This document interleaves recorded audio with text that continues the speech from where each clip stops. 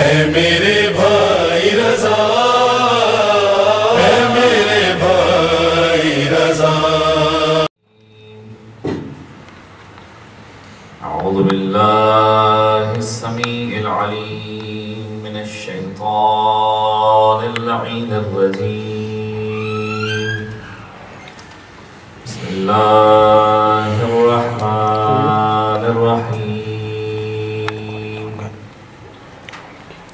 لله رب العالمين.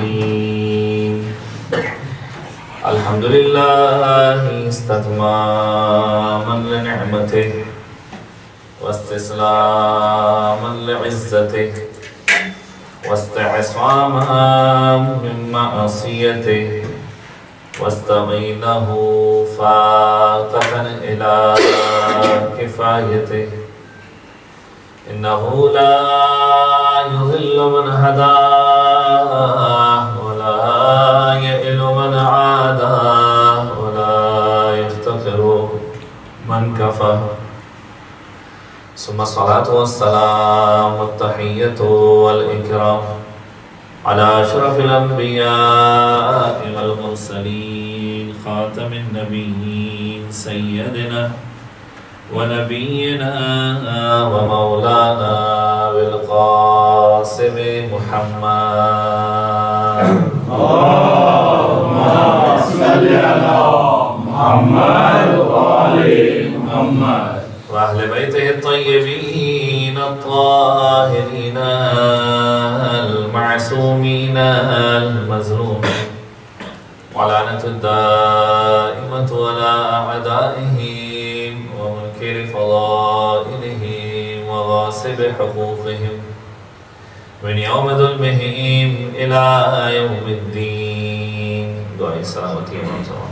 بسم الله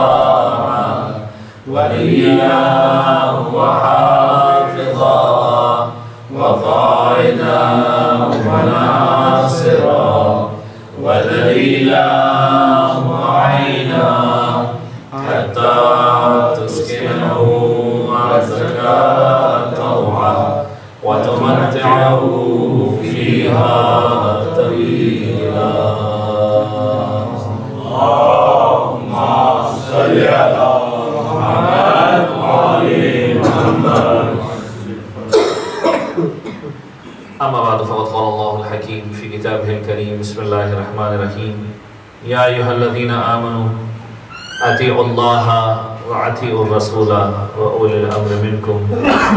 فإن تنازعتم في شيء فردوه إلى الله ورسوله إن كنتم تؤمنون بالله واليوم الآخر. ذلك خير وأحسن تعويلا درود پر دیجیے محمد و آل محمد پر.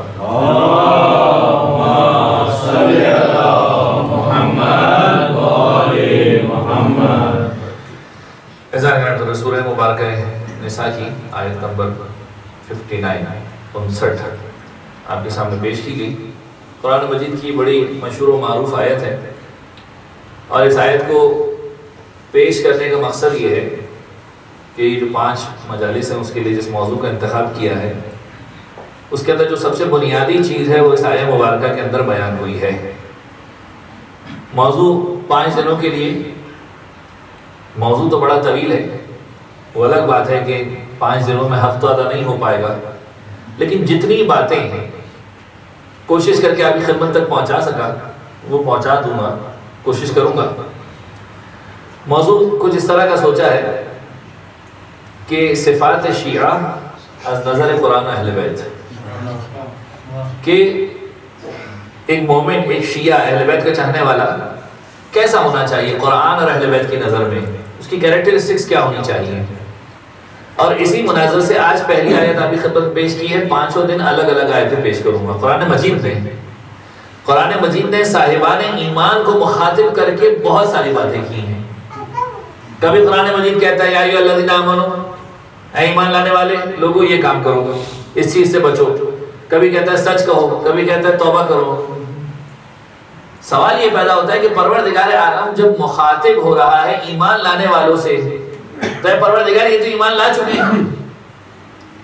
اے پروردگار، یہ تو ایمان لا چکے ہیں۔ انہیں مزید کیا سدھارنے کی ضرورت ہے؟ انہیں واقعہ جو پہلے سے مومن ہے اسے مزید کیا سدھارنے کی ضرورت ہے؟ جب خدا خود کہہ رہا ہے، اے ایمان لانے والوں نماز کو قائم کرو۔ مسئلہ اے ایمان لانے والوں اس میں سے خرچ کرو جو خدا مند عالم نے دیا۔ تو سوال تو بنتا ہے، پروردگار ایمان لانے والے تھے؟ مومن تھے؟ یہ بھی نہیں کہا کہ اے مسلمانوں، یا ایوہ المسلمون، یہ بھی نہیں کہا۔ یا ایوہ الذین آمنو اور پھر سارے کے سارے احکام بیان کرنا شروع کر دیے۔ تو اے پروردگار، مقصد کیا ہے؟ شاید جواب قدرت یہ آئے کہ دیکھو، مرحلوں کو سمجھو۔ مرحلوں کو سمجھو۔ پہلا مرحلہ اسلام کا مرحلہ ہے، دوسرا مرحلہ ایمان کا مرحلہ ہے۔ پروردگار عالم تمہیں ایمان کے مرحلے سے متقین کے مرحلے تک لے جانا چاہتا ہے۔ کیونکہ تم اس در سے وابستہ ہونے والے ہو کہ جس کا امام امام المتقین ہے۔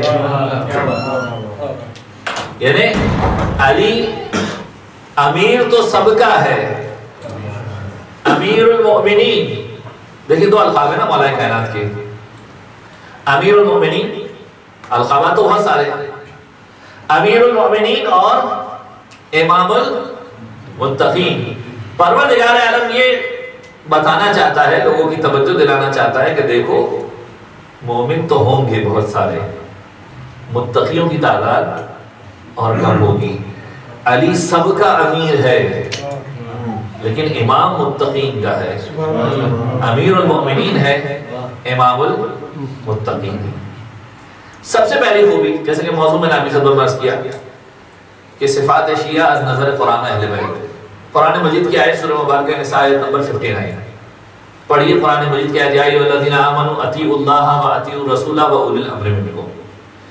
پہلی کوالٹی کہ ایمان لانے والوں، اللہ کی اطاعت کرو، رسول کی اطاعت کرو اور صاحبان امر کی اطاعت کرو، جنہیں پروردگار عالم نے اپنے طور پر ولی بنایا ہے۔ یعنی پیغام کو سمجھنا بڑا ضروری ہے کہ پروردگار عالم نے جنہیں ولایت عطا کی ہے، ان کی اطاعت کرو۔ اور اس کے بعد فوراً پروردگار عالم کہتا ہے، یہیں پر آیت مکمل نہیں ہوتی، عام طور پر اتنی آیت ہم سن لیتے ہیں، اس کے بعد کی چیزیں ہمارے ذہن میں بھی نہیں ہوتی۔ پھر ارشاد رب العزت ہوتا ہے فَإِن تَنَازَعْتُمْ فِي شَيْءٍ اگر تم کسی چیز میں جھگڑے میں پڑ جاؤ اگر تم کسی چیز میں جھگڑے میں پڑ جاؤ فَرُدُّوهُ إِلَى اللَّهِ وَرَسُولِهِ۔ تو بس اس چیز کو پلٹا دو اللہ اور اس کے رسول کی طرف۔ وہ فیصلہ کریں گے کیا چیز صحیح ہے کیا چیز غلط۔ یعنی اگر کسی معاملے کے اندر مسئلہ ہو جائے تو اللہ اور رسول کے پاس چلے جانا اپنے طور پر اجماع کر کے فیصلہ مت کر لینا۔ اپنے طور پر کسی نتیجے پہ مت پہنچ جانا۔ فَإِن تنازعات دیکھیں آیت آپس میں ملی ہوئی ہے۔ کوئی دو آیت کے الگ الگ آیتوں کے ٹکڑے نہیں پڑا۔ سورہ مبارکہ ایسا آیت نمبر 59 جا کے پڑھیے۔ فَإِن تنازعتم فِي شَيْءٍ فَرُدُّوهُ إِلَى اللَّهِ وَرَسُولِهِ۔ اللہ اور رسول کی طرف پلٹا دو۔ اگر تم یوم آخرت پر ایمان رکھتے ہو اور اللہ پر ایمان رکھتے ہو تو یہی تمہارا کام ہونا چاہیے۔ اللہ اور یوم آخرت پر ایمان ہوگا تو یہی کام کرو گے، ذالک خیر و احسن تاوینا اور یہ سب سے بہتر طریقہ ہے۔ یعنی پروردگار عالم بتانا چاہ رہے ہیں کہ دیکھو، مومن کا سب سے پہلا کام اللہ کی اطاعت کے اندر پکا ہونا چاہیے۔ رسول کی اطاعت کے اندر پکا ہونا چاہیے۔ اور ولایت امیر المؤمنین۔ یعنی صاحبان امر صاحبان امر سے کیا مراد ہے؟ ان لوگوں کی ولایت کہ جن کی ولایت کا اعلان پروردگار عالم نے رسول اللہ سے کروایا۔ اور اتنی امپورٹنٹ ولایت کہ رسول اللہ کو باقاعدہ طور پر جس انداز میں مخاطب کیا گیا، وہ انداز رسول اللہ کے ساتھ نارمل نہیں تھا۔ یعنی سارے کے سارے حساب و کتاب مختلف تھے۔ یاد رکھیے، دنیا کے اندر یہ دستور ہے۔ اگر ایک چیز بالکل نارمل انداز میں بیان کر دی جاتی ہے، تو لوگوں کے سروں پہ سے گزر جاتے ہیں ایک عام سی بات سمجھ کے گزر جاتا ہے۔ لیکن اگر اہتمام تھوڑا سا خاص کیا جائے سیلیبریشن کا طریقہ مختلف ہو سیلیبریشن یاد رہتی ہے ہر دفعہ اگر کیک کاٹ لیا کرتے تھے کسی موقع پر، کیک کاٹ لیا، یاد نہیں رہے گا۔ تو اتنے کیک کاٹے تھے بھائی۔ لیکن اگر سیلیبریشن کا انداز تھوڑا مختلف ہو۔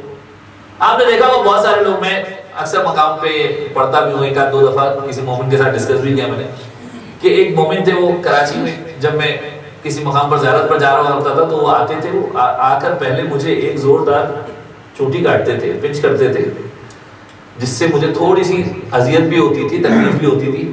اور پھر کہتے تھے دعا میں یاد رکھنا۔ تو میں کہتا تھا، بھائی سیدھی سیدھی طریقے سے کہتے تھے دعا میں یاد رکھ لینا۔ تو کہتے تھے، سب نے کہا ہے دعا میں یاد رکھنا۔ لیکن میں نے ایسا کام کیا ہے کہ جب تو یاد رکھے گا، کوشش کرے گا جب بھی کہ کس کس نے دعا میں یاد رکھنے کو کہا تھا تو سب کے نام یاد آئے نہ آئے، میرا نام ضرور یاد آئے گا۔ کیونکہ میں نے تھوڑا سا ڈفرینٹ انداز میں جا کر کام اور ہوتا ہے ایسا۔ یعنی جو تھوڑا سا انداز سے ہٹ کر ہو، تو وہ چیز یاد رہ جایا کرتی ہے دنیا کے اعتبار سے۔ اعلان ولایت امیر المومنین اس انداز سے ہٹ کر پیغام تھا کہ آیت کے اندر بھی لوگوں کو متوجہ کیا گیا کہ دیکھو رسول اللہ کو کس انداز میں مخاطب کیا گیا۔ ہے یا ایوہ الرسول بلغ ما انزل الیک من ربک فَإِن لَمْ تَفْعَلْ فَمَا بَلَغْتَ رِسَالَتَ اگر آپ نے یہ کام نہیں کیا اس کا مطلب کچھ بھی نہیں کیا رسالت انجام ہی نہیں دی۔ یعنی وہ رسول اللہ آیت کا حکم کب آ رہا ہے؟ تاریخ کو ذرا اٹھا کر پڑھئے دس ہجری کے اندر آ رہا ہے۔ رسول اللہ گیارہ ہجری کے اندر اس دنیا سے رخصت ہو رہے ہیں۔ یعنی رسول اللہ نے زندگی کے باسٹھ سال گزار دیے سکسٹی ٹو ایئرس باسٹھ سال گزار دیے اور آخر میں پروردگار عالم باسٹھ سال کے بعد کہہ رہا ہے، اے رسول اگر اس کام کو انجام نہیں دیا تو کچھ بھی نہیں کیا۔ ذرا سوچئے رسول اللہ کی کیفیت کیا ہوگی۔ یعنی پروردگار عالم حکم کی اہمیت کو بیان کرنا چاہ رہا ہے کہ دیکھو، اس ولایت کی امپورٹنٹ کو سمجھو۔ اور پھر اس کے بعد پروردگار عالم یہ بھی کہتا ہے، واللہ یاسمک من الناس. اے رسول، ڈرنے کی کوئی ضرورت نہیں ہے۔ پروردگار عالم تمہیں انسانوں کے شر سے محفوظ رکھے گا۔ ان کی سازشوں سے محفوظ رکھے گا، ان کے خطروں سے محفوظ رکھے گا۔ تو یہ خاص قسم کا اہتمام کیا گیا اور رسول اللہ نے بھی اس اہتمام کو خاص رکھا۔ روایتوں کی جملے رسول اللہ کی خدمت میں ایک بوڑھا صحابی آیا۔ دیکھیں پہلی خصوصیت کی بات ہو رہی ہے نا کہ صفات شیعہ نظر قرآن اہل بیت۔ پہلی خوبی یہ ہے شیعہ کی کہ وہ اپنے عقیدے کے اندر، عقیدہ ولایت اہل بیت کے اندر بڑا مضبوط ہوگا۔ اتنا مضبوط کر دیجیے، خود اپنے آپ کو اور اپنے بچوں کو کہ کوئی انہیں ولایت اہل بیت کے عقیدے سے نہ ہلا سکے۔ آج کے دور پر خطر دور کے اندر، جب عقیدوں کے اندر بھی ملاوٹیں ہو رہی ہیں، جب معاملات خراب ہوتے جا رہے ہیں، وہاں پر ضروری ہے کہ انسان اپنے عقیدے کے اندر پکا ہو۔ عقیدے میں پکا ہوگا، پھر کوئی ہلا نہیں پائے گا۔ بنیادیں پتہ ہونی چاہیے۔ انسان کو بنیادیں پتہ ہونی چاہیے کہ میں کس مذہب سے تعلق رکھتا ہوں اور کس انداز کی زندگی مجھے گزارنی ہے۔ رسول اللہ نے بھی اس اہتمام کو خاص رکھا، ہر مقام کے اوپر بتایا۔ روایت کے جملے ایک بوڑھا عربی آیا رسول اللہ کے پاس۔ کل میں نے آپ کی خدمت میں کیا تھا، دیکھیں، سوال کرنے کے اندر کوئی مسئلہ نہیں۔ سوال ہونا چاہیے، سوال کرنا انسان کا حق ہے۔ لیکن سوال ہونا چاہیے سیکھنے کے لیے۔ اعلیٰ ظرفی کی مثال آج دنیا کہتی ہے، اعلیٰ شخصیت بننا چاہتے ہو تو کچھ چیزوں کے اعتبار سے اپنے کردار کو محکم کرو۔ اب میں کچھ دنیا کی مثالیں دے کے چلتا ہوں تاکہ بات ذہن کے اندر بیٹھ جائے۔ جیسے میں نے کہا کہ کچھ الگ کر کے اگر چلتے تو بات یاد رہ جاتی ہے۔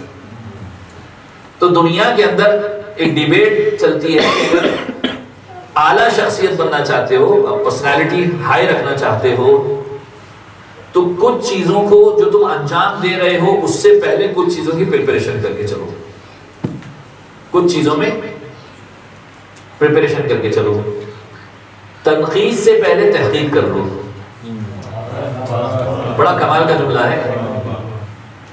ریسرچ بیفور کریٹیسزم تنقید سے پہلے تحقیق کرو یعنی اگر کوئی بات سمجھ میں نہیں آ رہی پہلے تحقیق کرو ریسرچ کرو کہ اس کے اندر خرابی ہے کیا۔ کیا جب آپ اپنا پوائنٹ آف ویو پیش کریں گے تو آپ کو پتا تو ہونا چاہیے کہ کیا بات کیا کرنی ہے۔ اکثر اس دنیا کے اندر پریشانیاں اس وقت آتی ہے کہ تنقید پہلے ہوتی ہے، تحقیق بعد میں ہوتی ہے۔ اس لیے مسائل پیدا ہوتے ہیں۔ تحقیق پہلے کرو، جب تنقید کرو گے تو اپنی بات کو پیش کر سکو گے اپنے آپ کو محفوظ کر سکو گے دوسرا، کمال کیا ہونا چاہیے انسان کی اعلیٰ شخصیت کا؟ کہ انسان کے پاس ثبوت ہونا چاہیے الزام سے پہلے۔ بڑا کمال کا جملہ ہے۔ ثبوت الزام سے پہلے ایویڈنس بیفور ایلیگیشن عام طور پہ انسان الزام لگا دیا کرتا ہے کسی کے اوپر بھی۔ آج دنیا کے اندر کتنے سارے مقامات آپ دیکھیں۔ لوگ کسی کے بارے میں برا سوچتے ہیں اسے پوچھیں، آپ نے خود دیکھا، اسے برائی کرتے ہوئے۔ نہیں، فلاں نے بیان کیا۔ تم نے نہ اپنی آنکھوں سے دیکھا۔ جس سے سنا، اس کی اتھنٹسٹی کیا تھی، وہ بھی نہیں پتا۔ اور کسی کے اوپر الزام لگا دیا کیا واقعا اہل بیت علیہ السلام اس طریقے کو پسند کرتے ہیں۔ جی نہیں۔ اہل بیت علیہ السلام تو حسن زن کی اعلیٰ مثال رکھنے کو کہتے ہیں۔ ایک پرسنٹ بھی اگر چانس ہے کہ جہاں پر اچھائی سوچی جا سکتی ہے، اہل بیت کہتے ہیں اس اچھائی کے بارے میں سوچو۔ بلکہ یہاں تک روایتوں کے جملے ہیں، ساتھ امام امام موسیٰ بن جعفر علیہ السلام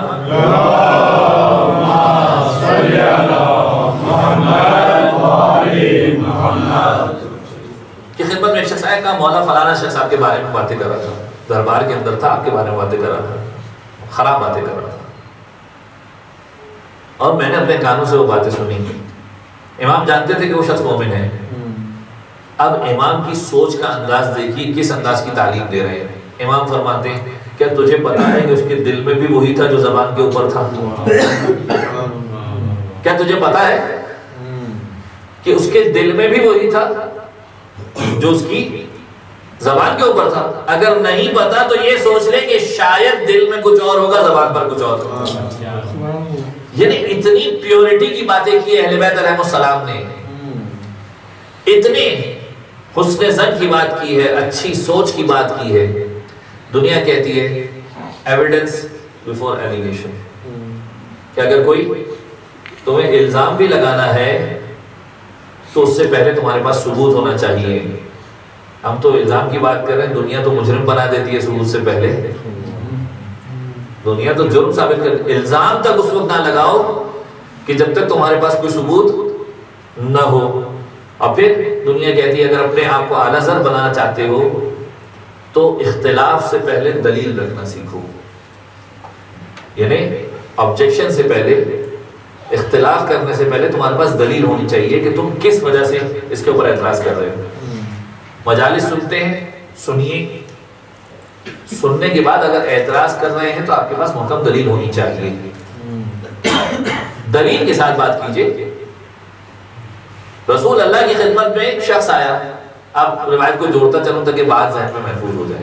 رسول اللہ کے پاس شخص آیا کہنے لگا یا رسول اللہ آپ نے کہا اللہ پر ایمان لے آؤ ہم لے آئے۔ آپ نے کہا، میں اللہ کا رسول ہوں۔ ہم نے مان لیا۔ پھر آپ نے کہا کہ علی اللہ کے ولی ہیں۔ یا رسول اللہ، یہ آپ کے چچا بھائی ہیں۔ اب میں کیسے سمجھوں کہ آپ نے رشتہ داری کے اندر آ کے یہ بات کر دی ہے؟ کیا واقعا مولا کائنات کا مقام پروردگار عالم کی طرف سے مقرر ہے؟ اب دیکھیے جواب دینے کے مختلف انداز ہوتے ہیں۔ کوئی اگر ایسا آتا ہمارے پاس تو ہم بھڑک جاتے کیسی باتیں کر رہے ہو؟ رسول اللہ کا ظرف مختلف ہے۔ انشاءاللہ کل بات کروں گا رسول اللہ کے ظرف کے اوپر۔ رسول اللہ کا ظرف مختلف ہے۔ رسول اللہ اسے جواب دیتے ہوئے کہتے ہیں، پریشان ہونے کی ضرورت نہیں ہے۔ تیرے سارے شکو کو دور کروں گا۔ رسول اللہ فرماتے ہیں کہ تجھے یہ پتا ہے کہ میں جو بات کہتا ہوں حکم پروردگار کے طور پر کہتا ہوں۔ وما ينطق عن الهوى ان هو الا وحی یوحى کہ کچھ اپنی مرضی سے نہیں کہہ رہا، جو کچھ ہے حکم پروردگار ہے۔ اتنا مانتا ہے کہ مانتا ہوں؟ کہ تو بس اگر میں نے کوئی بات اپنی زبان سے کی ہے تو وہ حکم پروردگار ہی ہے۔ اپنی مرضی سے نہیں کی۔ اور کہ اگر تو یہ جاننا چاہتا ہے کہ علی کی فضیلت کیا ہے تو میں تجھے بتاتا ہوں۔ اب رسول اللہ مولا کائنات کی فضیلت کو بیان کریں۔ مناقب اہل بیت کی روایت ہے۔ رسول اللہ فرماتے ہیں کہ کئی مقامات ایسے ہیں کہ جبرائیل نے آ کر مجھے علی کے فضائل کو بیان کیا۔ اگر دنیا کے کسی بھی فرد کو ان میں سے ایک بھی فضیلت مل جاتی۔ ہے ایک بھی فضیلت۔ تو دنیا و معافیہ جو دنیا کے اندر جتنی چیزیں ہیں، وہ سب سے بہتر ہوتی ہیں۔ سب سے پہلی فضیلت کیا ہے؟ سب سے پہلی فضیلت علی ابن ابی طالب کی یہ ہے، رسول اللہ فرما رہے ہیں۔ سب سے پہلی فضیلت یہ ہے کہ بدر سے واپسی کے موقع پر جب ہم آ رہے تھے، اب رسول اللہ وقت کے ساتھ بات کر رہے ہیں۔ بدر سے واپسی کے موقع پر جب ہم آ رہے تھے، جبرائیل نازل ہوئے۔ اور آ کر کہنے لگے کہ یا رسول اللہ، پروردگار عالم علی سے اتنی محبت کرتا ہے کہ خدا جس سے محبت کرتا ہے، اس کے دل میں علی کی محبت کو ڈال دیا کرتا یعنی آج اگر آپ اس فرش پر بیٹھے ہوئے ہیں تو یہ در حقیقت پروردگار عالم کی محبت کا اجر ہے جو آپ یہاں پر بیٹھے ہیں۔ آج ذکر علی ابن ابی طالب کی حلاوت، مٹھاس کو محسوس کر رہے ہیں۔ یہ در حقیقت یہ پروردگار عالم کی محبت ہے کہ آپ یہاں پر بیٹھے ہوئے ہیں۔ اور واقعا اس ولایت کو پیش کیا گیا ہے ائمہ کی طرف سے۔ آج شب شہادت امام رضا علیہ السلام بھی ہے اسی عنوان سے دونوں باتوں کو ملاتا چلوں۔ امام علی ابن موسیٰ رضا علیہ السلام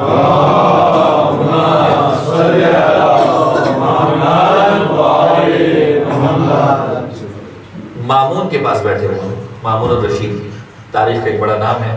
ہارون الرشید کا بیٹا۔ مامون الرشید کہ جو اس بیوی سے تھا کہ جس کا تعلق عجم سے تھا، ذہنی طور پر بڑا مضبوط تھا۔ تاریخ کے جملے ملتے ہیں کہ معمون فقہا میں سے تھا۔ یہ فقہا کا لفظ کوئی معمولی لفظ نہیں ہے چھوٹا لفظ نہیں ہے اس کی ایک اہمیت ہے۔ یعنی معمون کے لیے اگر فقہا کا لفظ استعمال کیا گیا ہے اس کا مطلب یہ ہے کہ وہ ان مضبوط ترین لوگوں میں سے تھا کہ جو سمجھ بوجھ رکھتے تھے علمی اعتبار سے۔ آٹھویں امام کی خدمت میں بیٹھا کہنے لگا ایک روایت سنی ہے لیکن سمجھ میں نہیں آ رہی۔ آپ مجھے اس کا مطلب بتائیے کہ اس کا مطلب کیا ہے۔ آٹھویں امام نے کہا اچھا پوچھ، کیا پوچھتا ہے؟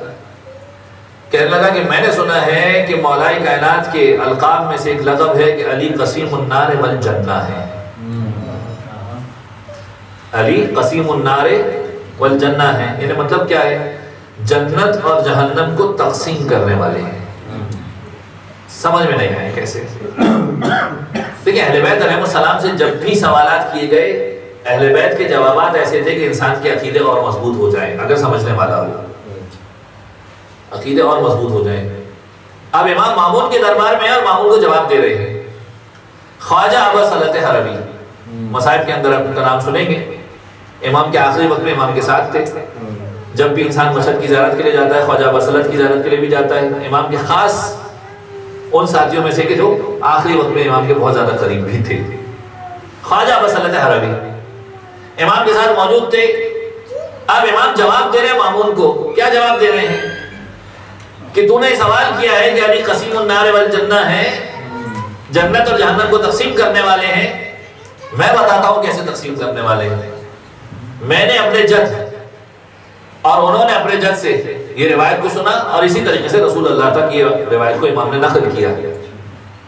کہ میں نے امام موسم جعفر سے سنا، انہوں نے امام جعفر صادق سے سنا، انہوں نے اس طریقے سے رسول اللہ سے نقل کیا ہے کہ علی کی محبت ایمان ہے اور علی سے بغض کفر ہے۔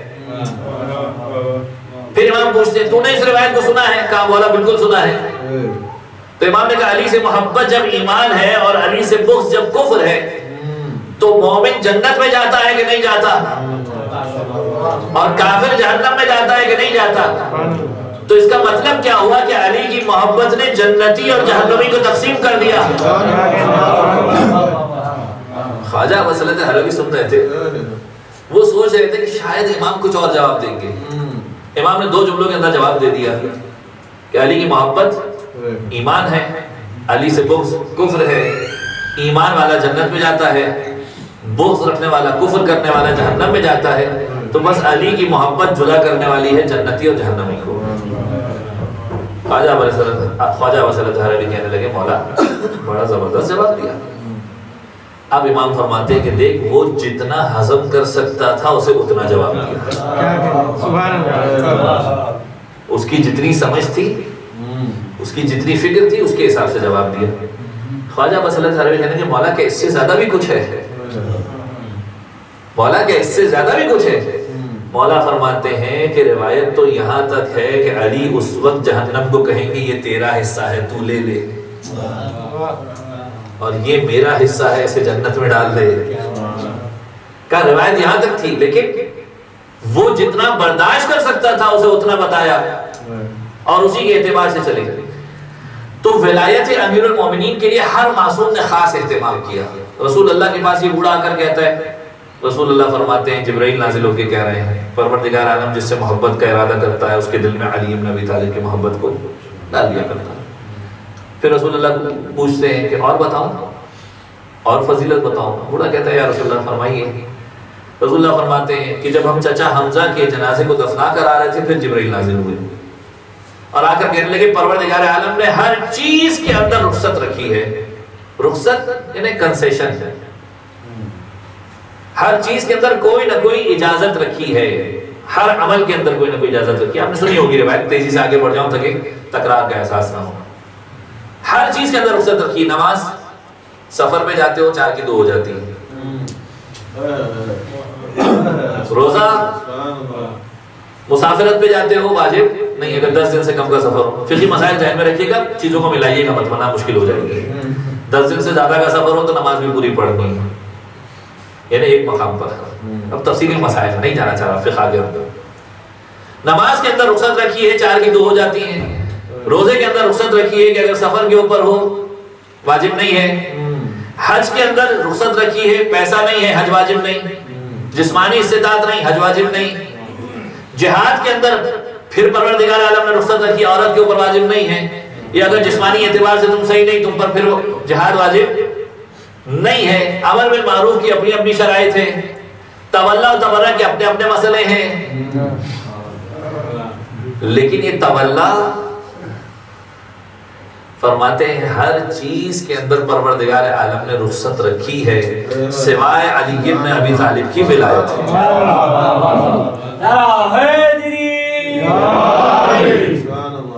ہر چیز کے اندر رخصت رکھی ہے۔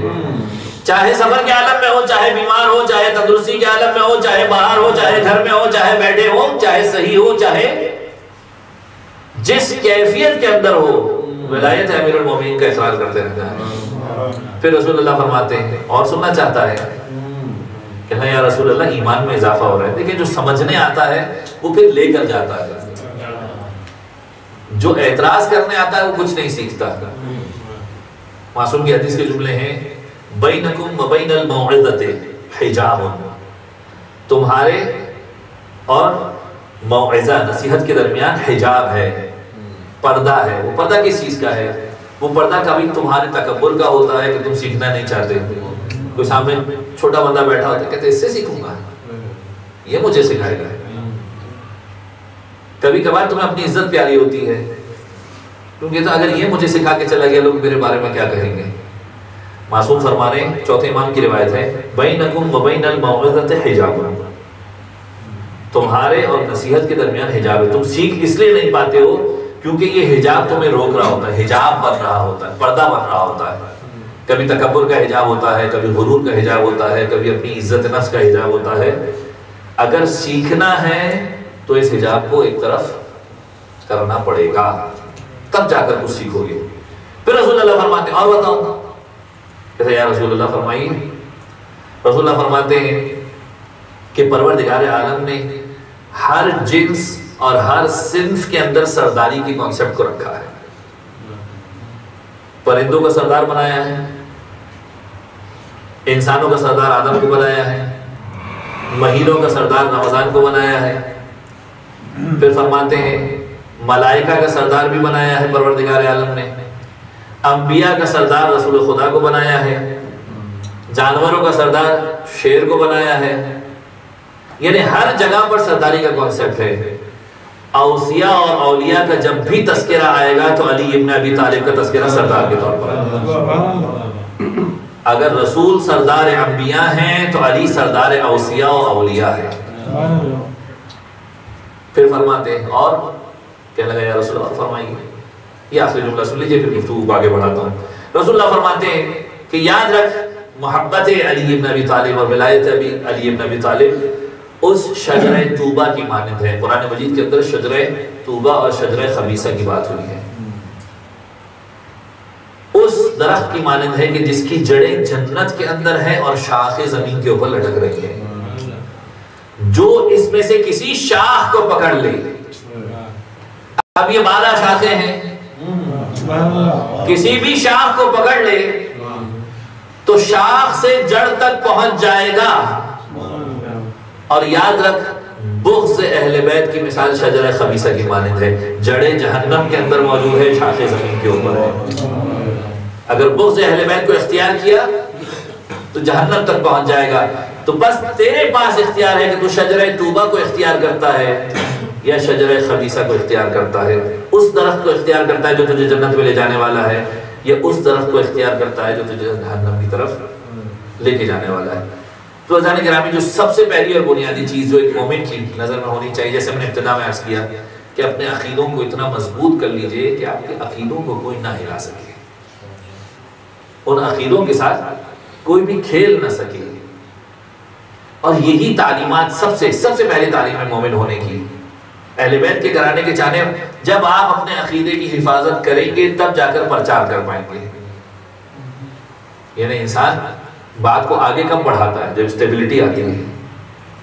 اگر اسٹیبلٹی ہی نہیں ہے، آپ کو اپنے عقیدے کے بارے میں ہی نہیں پتا، تو آپ دوسروں کو کیا تشیعوں کا پیغام دیں گے؟ کیا سمجھائیں گے؟ اب سب سے پہلے اپنے ماحول کو اہل بیت علیہ السلام کی نگاہ میں پسندیدہ بنائیں۔ اپنے گھر کے ماحول کو۔ اپنے گھر میں اپنے بچوں کو سکھائیے ولایت امیر المومنین کی اہمیت کیا ہے۔ آج ہم جتنی بھی باتیں کرتے ہیں، یہ روایتیں بچوں کو سمجھائیں مختلف انداز میں۔ کبھی اسٹوری کے انداز میں سمجھائیں۔ کئی ساری ایسی روایتیں ہیں کہ جہاں پر سیکھنے والی باتیں موجود ہیں۔ جناب عیسیٰ کا واقعہ سنائیں اور پھر فضائل علی نبی طالب بتائیں۔ ایسی روایتیں موجود ہیں۔ جائیں حلیمہ سعدیہ کی بیٹی کی روایت پڑھیں۔ ایک ایک کے ساتھ کمپیریزن کیا، ایک ایک نبی کے ساتھ۔ کہ اس نبی کی یہ فضیلت تھی، علی ابن نبی طالب کی یہ فضیلت ہے۔ اسٹوری والے انداز میں، پہلے بچوں کو اس نبی کے بارے میں بتائیں۔ دو دو کام ایک ساتھ ہو جائیں گے۔ نبی کی تاریخ بھی پتہ چل جائے گی، علی ابن نبی طالب کی فضیلت بھی پتہ چل جائے گی۔ تبھی تو جا کر بچے عقیدے کے اندر مضبوط ہوں گے۔ اپنے گھروں کے اندر اس ذکر کو کیجیے اس کی برکتوں کو سمیٹیے۔ آیت اللہ فاطمی نیا کے پاس ایک شخص آیا اور آ کر کہنے لگا کہ گھر کے اندر بڑے مسئلے ہو رہے ہیں۔ ابھی تبرک لیتے جائیے۔ گھر کے اندر بڑے مسئلے ہو رہے ہیں۔ کیا مسئلے ہو رہے ہیں؟ مسئلے یہ ہو رہے ہیں کہ جھگڑے ہو رہے ہیں۔ ایک دوسرے کے ساتھ ایک دوسرے کا دل دکھایا جا رہا ہے۔ برکت گھر سے اٹھ چکی ہے۔ غصہ بہت زیادہ آتا ہے۔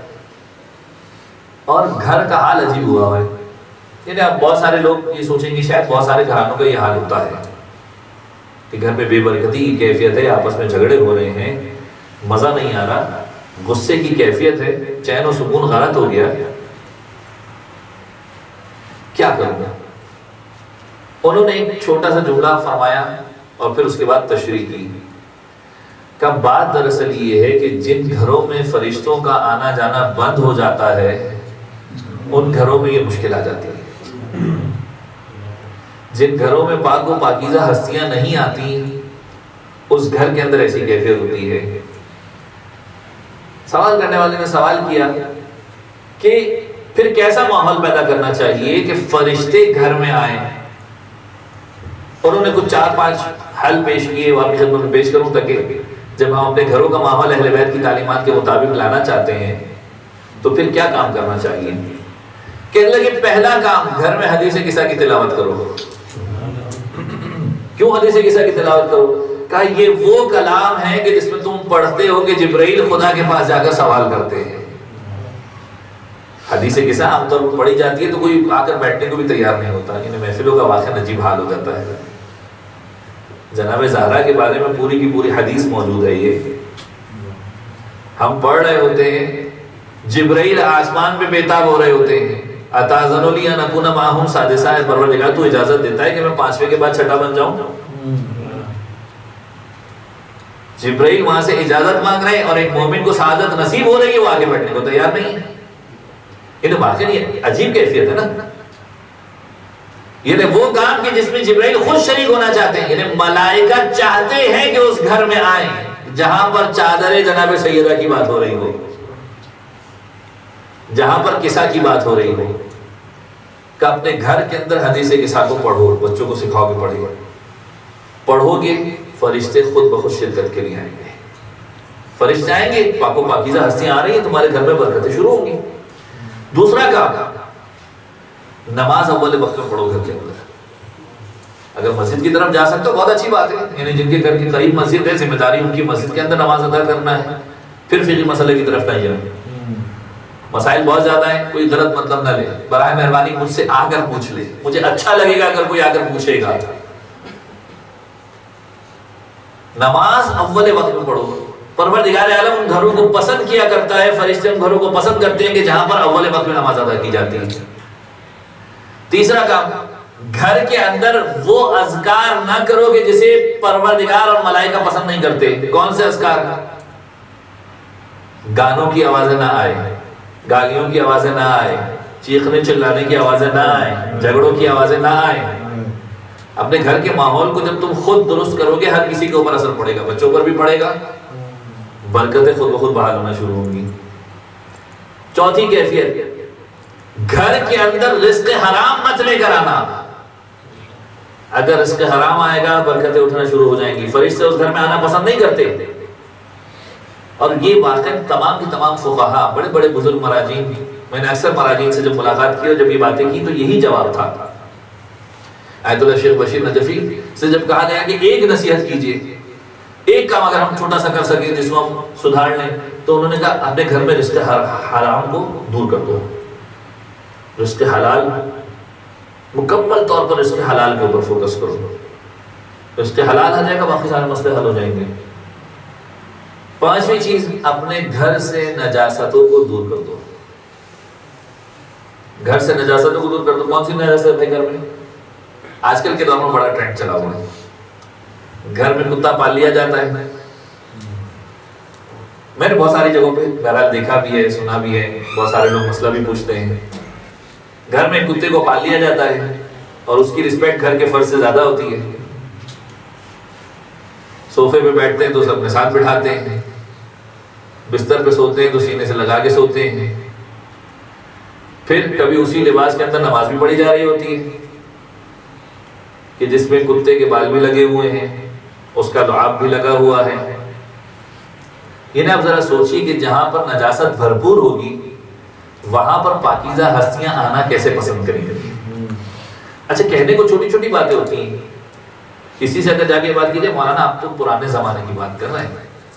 قدامت پسندی کی باتیں آکورڈ باتیں ہو رہی ہیں۔ جس طرح ہیومن رائٹس ہوتے ہیں، اسی طریقے سے جانوروں اینیمل کے بھی رائٹس ہیں اب تو۔ بات یہ ہے کہ آپ پالیے گھر سے باہر رکھیے۔ کس نے کہا ہے کہ گھر کے اندر اس کی منوست کو لے کر آئے اس کی نجاست کو گھر کے اندر لے کر آئے اول تو سب سے پہلی بات یہ جاننے کی کوشش کیجیے کہ شریعت کی نگاہ میں کیا چیز ریکمنڈڈ ہے کہ نہیں ہے۔ شریعت نے جن جانوروں کو پالنے کو ریکمنڈ کیا ہے، ان جانوروں کو پالنے کو تو تیار ہے نہیں ہم جاؤ بکری پالو۔ جاؤ ان جانوروں کو پالو کہ جن کے بارے میں شریعت نے خاص طور پہ کہا۔ تو اگر یہ کیفیتیں گھر میں ہوں گی، تو انسان ان برکتوں کی کیفیت کو اس وقت دیکھے گا کہ جب ناپسندیدہ چیزوں کو دور کر دے گا اور پسندیدہ چیزوں کو گھر کے اندر لے کر آئے گا۔ یاد رکھیے، ہمیں اپنے بچوں کے عقیدوں کو مضبوط کرنا ہے، حدیث قصہ کی اہمیت کو بتائیے، ولایت امیر المومنین کی اہمیت کو بتائیے، اور ایک چھوٹی سی بات آپ کی خدمت برس کروں۔ پچھلے سے پچھلے سال ہماری ایک گفتگو ہوئی، عمار، ڈاکٹر عمان نقشوانی کے ساتھ، بڑے مشہور معروف اسکالر ہیں۔ اور جب ہم ان سے سوال کیا کہ یہ بتائیے، جب بچوں کی تربیت اگر ہمیں بہترین انداز میں کرنی ہے، اپنے بچوں کو کچھ سکھانا ہو تو کیا چیز ہوگی ایسی کہ جس کے ذریعے سے ہم سکھا دیں؟ تو ان کے جملے یہ تھے کہ وہ یہ سمجھتے ہیں، بہرحال ان کی رائے، وہ رائے ہے کہ جسے لوگ سنتے ہیں تو عام طور پر کہتے ہیں کہ ٹھیک ہے، ایک یہ اتنے معروف اسکالر ہیں تو بڑی آسانی سے بات سمجھ میں آ جاتی ہے۔ کہنے لگے اپنے بچوں کو زیارتوں پر لے جائیں اور جا کر تربیت کریں۔ اپنے بچوں کو امام حسین کی زیارت پہ لے کے جائیں۔ یہ تربیت کا ایک بہترین سورس ہے۔ میں سمجھتا ہوں کہ معاملہ اس سے بھی اور آگے۔ اپنے بچوں کو فرش ازا پر لے کر آئیے، یہ بھی ایک تربیت کر رہی ہے۔ مکمل طور پر ایک تربیت ہے۔ مکمل طور پر۔ کئی ساری ایسی کیفیتیں ہیں واقع ہیں۔ اگر انسان سمجھ جائے تو اپنی زندگی کو اہل بیت علیہ السلام کے مطابق ڈھالنے کی کوشش کرے گا۔ فضائل کو اگر سمجھ جائے کہ فضیلتیں کیا کیا ہیں۔ اگر کوئی مسیحی بھی زیارت امام حسین کے لیے جاتا ہے امام حسین اسے فراموش نہیں کرتے۔ روایتیں لکھتی ہیں کتابوں کے اندر روایت موجود ہے۔ ایک عیسائی شخص تھا جو امام حسین کی زیارت کے لیے گیا۔ زیارت کے لیے کیا گیا؟ کاروبار کے لیے نکلا۔ جب مال و اسباب ختم ہو گیا ایک گروہ تھا جو کربلا جا رہا تھا۔ کہا مجھے بھی ساتھ کربلا لے چلو۔ کہا تو مسیحی تو کیا کرے گا؟ کہا کچھ نہیں تمہارے جوتے سنبھالوں گا۔ ٹھیک ہے۔ لے گئے کربلا۔ کہتا ہے، دو دن تک لوگ زیارت کرتے رہے، میں لوگوں کے جوتے سنبھالتا رہا۔ دیکھتا رہا کہ لوگ آتے تھے، روتے ہوئے زری کے اندر جاتے تھے۔ اور کبھی سینے پر ہاتھ مارتے ہوئے یا حسین کہتے تھے۔ کہ ان دو دنوں کے اندر ایسی تبدیلی ہوئی کہ ایک مرحلہ ایسا آیا کہ میں نے بھی اپنے سینے کے اوپر ہاتھ مار کر یا حسین یا حسین کہنا شروع کیا۔ لیکن بیٹھا تھا جوتوں کے پاس کا آنکھ لگی۔ خواب کے اندر دیکھتا ہوں کہ سرکار سعید الشہدہ امام حسین آئے ہوئے ہیں۔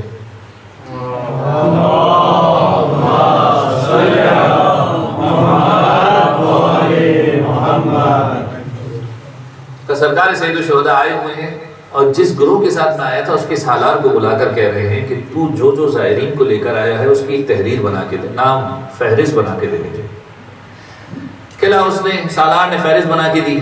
امام نے اسے دیکھا کہا تو کسی کا نام بھول رہا ہے۔ اس کے نام کو شامل کر سالار نے پھر فہرست دیکھی۔